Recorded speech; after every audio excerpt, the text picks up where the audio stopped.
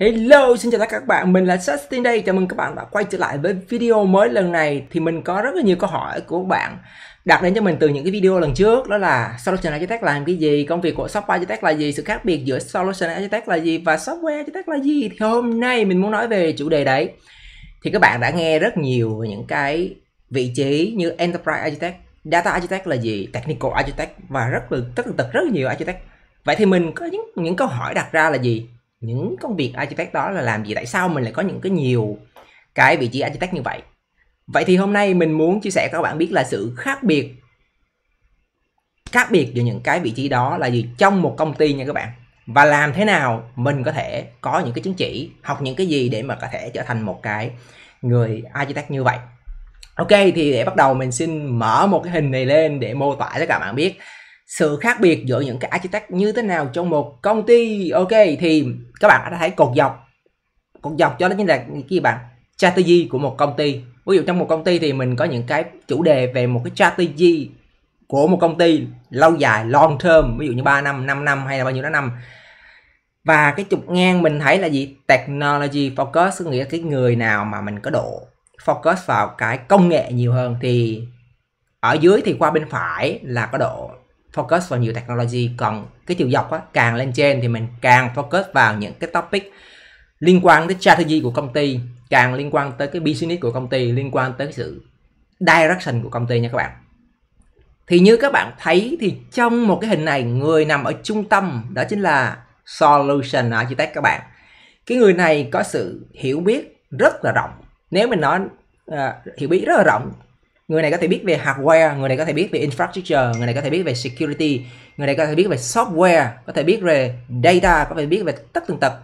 Trong một công ty, các bạn thấy nó nằm một cái vị trí ở giữa nha các bạn. Tại sao lại nằm ở giữa các bạn? Bởi vì người này focus nhiều vào solution các bạn ơi. Solution có nghĩa là sao các bạn? Đi gặp khách hàng. Những cái vấn đề các khách hàng gặp phải là gì?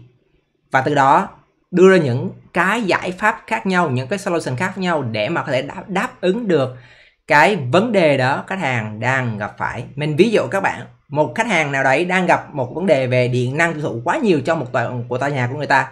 Ví dụ như là người ta muốn cắt giảm 5% điện năng tiêu thụ của cái uh, uh, tòa nhà đó thì đó là một cái vấn đề của khách hàng gặp gặp ra. Mình ví dụ như là một người solution architect thì mình phải đến đó, mình khảo sát tất cả những cái gì khách hàng đang xài, điện năng, tiêu thụ khách hàng đang sử dụng, những thiết bị nào khách hàng đang sử dụng và những cái cách operation như như thế nào của khách hàng. Từ đó mình đưa ra những cái giải pháp có thể là gì? Monitoring, có thể là control, có thể là cắt giảm chi tiêu ờ, thay đổi cái cách hoạt động. Rất là nhiều cách các bạn. Nhưng mà mình muốn nói ở đây là gì? Người hiểu biết rất nhiều về những cái vấn đề về hardware, software, infrastructure, về regulation nữa các bạn, về business nữa các bạn để đưa ra những cái alternative, đưa ra những cái solution các bạn, rất nhiều solution để mình có thể mang lại cái lợi ích về business, cái mục tiêu cho khách hàng. Đó là cái mục tiêu chính của solution architect. Bên phải các bạn thấy là technical architect. Thì người technical architect là gì? So khác biệt so với solution architect các bạn. Người ta khác biệt đầu tiên là người ta không có focus nhiều vào cái phần strategy. Nghĩa là người ta không cần care về cái strategy của khách hàng nhiều. Người ta vẫn biết, các bạn, người ta vẫn quan tâm. Nhưng mà người ta không quan tâm quá nhiều vào cái phần strategy của công ty hoặc là của khách hàng. Nhưng mà người ta thiên về cái sự gì? Sử dụng công nghệ, các bạn. Sử dụng công nghệ. Thì người này rất có chuyên sâu về công nghệ, các bạn. Solution architect không thể nào mà có sự chuyên sâu về một công nghệ nào đấy. Ví dụ mình nói về một công nghệ là cloud computing đi thì cái người solution architect là có sự hiểu biết nhất định về cloud computing và những cái alternative của cloud computing là gì? Ví dụ xài Microsoft như thế nào, xài Amazon như thế nào, xài xe hosting như thế nào, xài hybrid như thế nào? Người solution architect là người biết nhiều cái approach như vậy. Nhưng mà cái người technical architect rất là chuyên sâu vô một cái công nghệ nào đấy. Ví dụ người đó expert về Amazon Web Service thì người ta có khả năng hiểu rất là rõ về cái Amazon Web Service đó rất là sâu, rõ, sâu à, về cái công nghệ đấy. Đó là sự khác biệt đầu tiên mình muốn nói là một người biết rất rõ về một công nghệ nào đấy. Còn solution architect biết rất nhiều công nghệ viết rất nhiều về những thứ khác nhau từ hardware từ infrastructure cho đến những cái business của khách hàng cho đến những cái solution có thể available để người ta gì? Chọn lựa ra những cái solution mới ghép lắp ghép những cái solution đó lại để mà tạo ra một cái solution mới giải quyết được cái nhu cầu khách hàng. Vậy thì cái technical architect này bao gồm những gì trong đó các bạn? Thì mình nói rất nhiều thứ, ví dụ như là software, một người software architect rất là chuyên về làm software. Người infrastructure architect rất là chuyên về cái phần vận hành cái hệ thống của các bạn, làm sao cho bảo mật, làm sao cho an toàn, làm sao cho có đảm bảo được cái vấn đề là performance. Đúng không các bạn? Và mình có rất nhiều cái loại architect ví dụ bạn nghe về data architect, business architect, thì những người đó cũng sẽ là rất là chuyên về một công nghệ nào đấy các bạn. Người ta sẽ chuyên về technical architect các bạn. Ok, thì lên một chút xíu về cái phần là enterprise architect. Thì người enterprise architect này như thế nào các bạn? Thì người ta đâu có cần biết về technology nhiều đâu các bạn. Người ta focus nhiều về cái gì vậy các bạn? Strategy business của công ty của mình sẽ như thế nào định hướng công nghệ mới như thế nào và những cái công nghệ đó adapt nó như thế nào vô cái công ty của mình. Ví dụ mình thấy 5 năm nữa là 5G uh, 5G các bạn sẽ phát triển. Blockchain sẽ phát triển đúng không các bạn? Thì người ta nhìn rất rõ ràng những cái xu hướng công nghệ như vậy và nó như thế nào với công ty của mình hiện tại để mà mình có thể mang được những cái business mới để mình có thể mang ra những cái business model mới cho công ty của mình từ đó mang được những công nghệ mới đó vào công ty mình như là một cái chiến lược phát triển của công ty. Từ đó mang lại những cái lợi nhuận mới, doanh thu mới, những cái những cái giải pháp mới từ blockchain hoặc là 5G đó là những người enterprise architect các bạn. Thì quay trở lại cái vấn đề là enterprise architect thực sự có cần phải biết về technology nhiều không các bạn? Người ta vẫn biết về technology, người ta vẫn biết về cloud computing, người ta vẫn biết về à, edge computing, vẫn biết về AI vẫn biết về những cái công nghệ như vậy. Nhưng mà người ta focus nhiều hơn vào những cái strategy của công ty long term, của công ty 5 năm 3 năm như thế nào. Đúng không các bạn? Trong khi đó, technical architect thì sao các bạn? Tập trung vào cái sản phẩm người ta đang làm. Ví dụ các bạn đang làm một cái sản phẩm là, mình ví dụ thôi nha các bạn. Hệ thống năng lượng, mình đang nói đi, hệ thống năng lượng đi thì cái các bạn tập trung, nếu các bạn là một người technical architect, software architect hoặc infrastructure architect, các bạn sẽ tập trung vào cái gì các bạn? Những cái quality của cái sản phẩm energy của đó là là gì cho các bạn? Safety như thế nào cho khách hàng? Vận hành như thế nào cho nó tối ưu? Vận hành như thế nào cho nó bảo mật security? Vận hành như thế nào để cho usability cho khách hàng?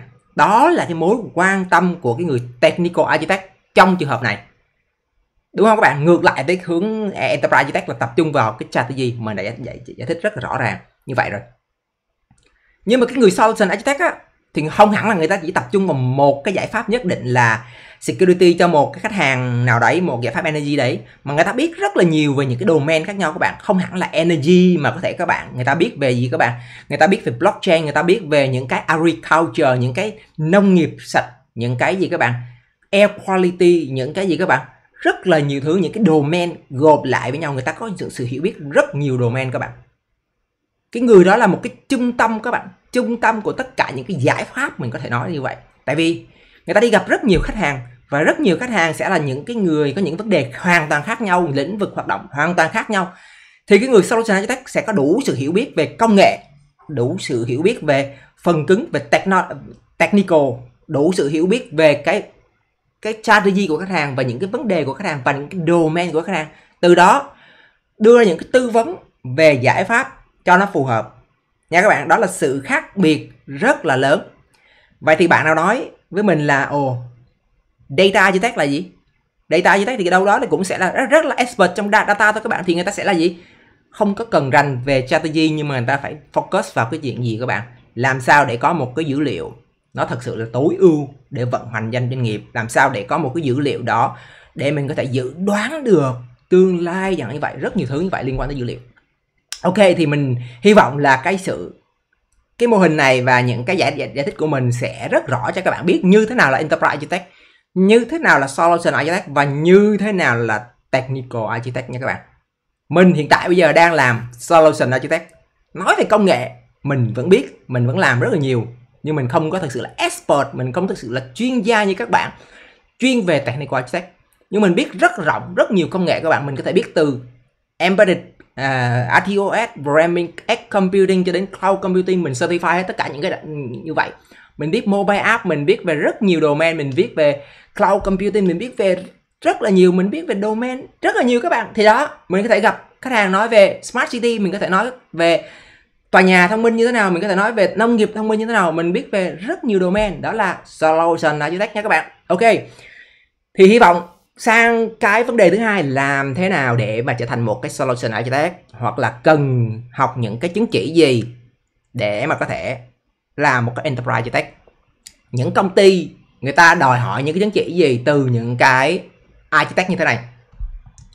Thì mình xin phép giới thiệu các bạn đầu tiên một cái mà mình đã dày công mình học rất là lâu và mình đạt được những cái chứng chỉ nhất định đó là ISAQB, ISAQB và CPSA.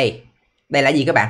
Giống như là một cái PMP, mình nghĩ các bạn biết rất rõ về PMP là một cái quản lý dự án, một cái certification cho quản lý dự án đúng không các bạn? Đây chính là một cái certification cho software architect. Còn gọi là gì các bạn? CPSA được cái tổ chức là ISAQB chứng nhận. NAQB có nghĩa là gì các bạn? Software Architecture Qualification Board. Đó là một cái tổ chức chứng nhận cho các bạn đạt được cái software architecture. Thì cái journey của nó, mình đang hiện trên cái, mình đang hiện trên cái màn hình đó các bạn. Thì các bạn sẽ đi từ cái foundation level. Các bạn phải thi cái foundation level. Mình tốn đến 2 tháng các bạn để học và thi cái foundation level này và rất là khó rất là khó. Mình có thể là có một cái buổi khác mình chia sẻ cái cách thi như thế nào nha các bạn, nhưng mà mình đã bảo với các bạn rất là khó nha các bạn. Sau khi các bạn đạt được cái foundation level rồi thì mình sẽ có những cái level khác là advanced level và expert level các bạn. Thì mình đang học advanced level luôn các bạn. Thì advanced level có cái gì khác foundation level? Thì đây mình xin giới thiệu các bạn, đây là một cái trang chủ của CPSA Advanced Level có những gì các bạn? Certified Professional Software Architecture Advanced Level. Có cái gì các bạn? Có rất là nhiều cái module ở trong đây. Các bạn thấy, để mà học được, để mà certify được cái advanced level cần cái gì các bạn? Các bạn phải cần học về methodology, một cái phương pháp nào đấy, một cái phương pháp để giải quyết vấn đề. Hoặc là mà cảm các bạn phải học về technology, một cái công nghệ nào đấy, cloud computing, blockchain, hoặc là gì, security, tất cả những gì liên quan đến công nghệ. Và các bạn phải học về gì? Communication làm sao mình có thể kết hợp lại được những cái công nghệ đó, những cái method đó lại và mình communicate được cho mọi người hiểu. Đó là một cái combination của advanced level.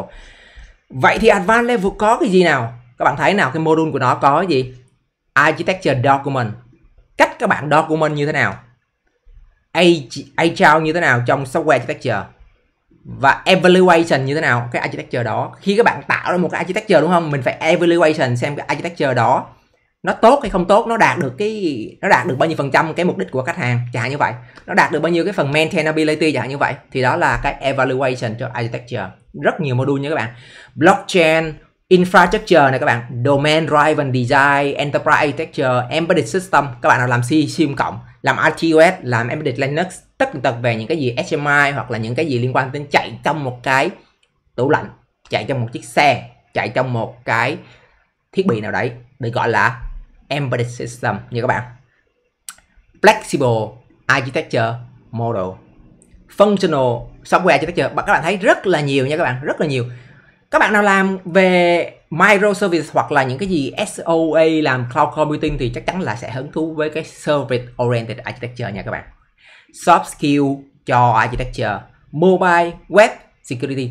Rất nhiều các bạn ơi. Mình nói là advanced level cover mình thấy hầu như là đầy đủ tất cả những cái gì mà mình, một người architect có thể là hứng thú tới. Và các bạn thấy ở bên phải nhé mình có những cái điểm nha, có điểm liên quan với technological, với method, với lại communication, đúng không các bạn? Thì mỗi cái cái module này á, nó sẽ có chuyên về một cái gì đấy, có thể là chuyên về method, có thể chuyên về một cái technology, có thể chuyên về một cái communication. Thì làm sao để có advanced level các bạn? Để có advanced level mình phải học. Những cái module này được 70 điểm tất cả nha các bạn. 70 điểm, đều hết các bạn hãy xem không thể nào mình chuyên về một cái technology được mình phải trải đều hết vừa technology vừa method vừa communication. Làm sao đó tổng điểm của mình được 70 điểm. Từ đó mình mới có thể apply mình thi được nha các bạn. Đó thì một cái hình mà rõ ràng nhất các bạn xem đây. Một cái hình rõ ràng nhất đây. Mình phải học tất tần tật những cái module liên quan đến ba cái pillar chính là method, technology và communication được đủ 70 credit. Từ đó các bạn có thể apply và thi cho cái chứng chỉ này. Thi cái chứng chỉ này tốn 170 euro một cái chứng chỉ. 170 cái euro một chứng chỉ nha các bạn. Có nghĩa là bạn phải nộp, các bạn phải nộp và trả tiền và các bạn xếp lịch thi và sau đó các bạn sẽ đến trung tâm các bạn thi hoặc là các bạn thi remote nha các bạn. Rất là khắc khe, thi remote là mở camera như thế này nè. Có người ngồi nhìn các bạn thi luôn trong vòng một tiếng rưỡi đó không được xài điện thoại, không được quay đâu hết, chỉ có tập trung vào đây, không được nói chuyện, không được cái gì hết. Nhúc nhích là có người nhắc các bạn, ê, tập trung vô bài, không được nói chuyện, không được nhìn video hết, không được xài điện thoại, không được tắt tần tật rất, vân vân.